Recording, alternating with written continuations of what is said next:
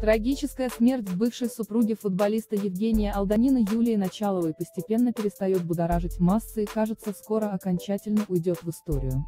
Реклама однако мир шоу-бизнеса, в котором звезды периодически обмениваются колкостями по поводу и без, все еще не затихает.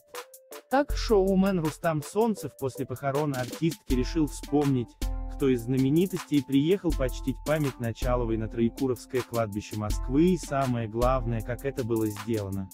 Гнев звезды вызвала певица Жасмин, которая явилась на проводы Началовой на яркой иномарке, стоящей больше 30 миллионов рублей, и оставила ее на видном месте, после чего отправилась выражать скорбь. Жасмин припарковалась недалеко от могилы на цветастой машине. Мол, упыри несчастные, мамочка покажет вам ваше место. Такие неоднозначные выводы сделал Солнцев в комментарии Стархиту.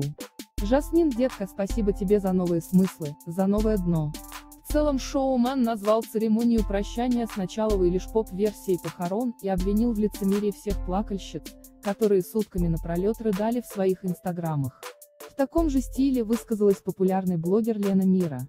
По ее мнению, на похоронах певицы большинство селебрити скрывали под очками не слезы, а их отсутствие.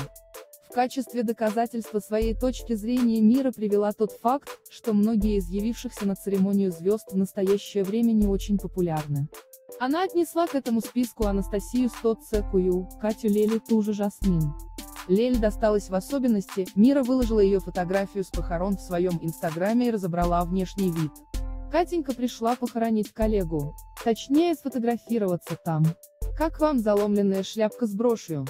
Аккуратно накрашенные губы, явно не на бегу повязанный платок. Вопросила Мира. Впрочем, не очень понятно, почему звезды должны были приходить на траурное мероприятие в небрежном виде. Блогер не дала объяснений на этот счет, однако отметила, что полностью согласна с мнением журналиста Александра Невзорова, который в своем осуждении массовой скорби по Началовой дошел до того, что предложил похоронить певицу в мавзолее рядом с Владимиром Лениным. Разумеется, это был черный юмор. Московский гламур топит абсолютно все в своих глицериновых слезах, процитировала Мира Невзорова, назвав лицемерных, по ее мнению, артистов звездным отребием. По ту сторону баррикады споров о неискреннем сочувствии Серебрите тоже происходят какие-то телодвижения и иногда прилетают ответы на обвинения. Так светская львица и писатель Лена Ленина, которая являлась приятельницей Началовой и даже писала в соцсетях, что готова забрать себе ее дочь, отреагировала на угрожающие сообщения людей, которые осудили ее за улыбку в эфире, посвященном смерти певицы. Одна девушка написала мне в инстаграме, лучше бы умерла ты, чем Началова. Знаете почему? Потому что мы с Андреем Малаховым посмели улыбаться в день похорон Юли. Нам не простили улыбки, даже несмотря на нашу искреннюю скорбь в день ее смерти и истинную любовь к Юле при ее жизни. Неужели люди такие злые? Возмутилась Ленина в своих соцсетях. В этом же посте поп-дива публично покаялась перед Началовой за последнюю обиду на нее. Как оказалось, Юлия пригласила ее на обед, но неожиданно не явилась и даже не предупредила об этом. Впоследствии стало известно, что она попала в больницу, из которой больше не вышла, однако в тот момент Ленина этого не знала и серьезно обиделась на Началову. Как заявила светская львица, именно из-за терзающего ее чувства вины она и решила посетить эфир, посвященный подруге, и таким образом закрыть гештальт. Однако нападок пока явно больше, чем оправданий.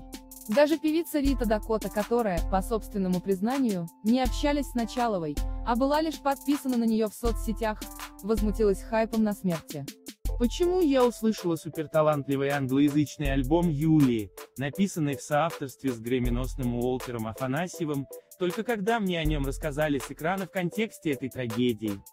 Почему надо умереть, чтобы СМИ показали твои работы массам? Недоумевала Дакота. Также артистка подчеркнула, что о ней тоже начали говорить в разы больше, когда прессе стало известно о разводе с Владом Соколовским.